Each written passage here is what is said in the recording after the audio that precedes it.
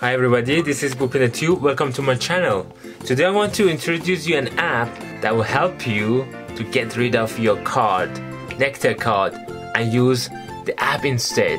I will show you how this app can transform your life. Let's go ahead. What you got to do, go to the Play Store and download Nectar app. You open Nectar app. Weekly, it has an offer for you and then it shows you the points and how much money your points equivalent to. And then if you go to your offers you see there are so many offers.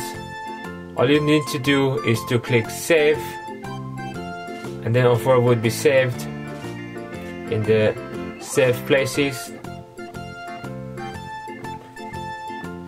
And all you need to do is to go to your card. After setting up your card, in here it will show your barcode. You scan this on your way out from the checkout.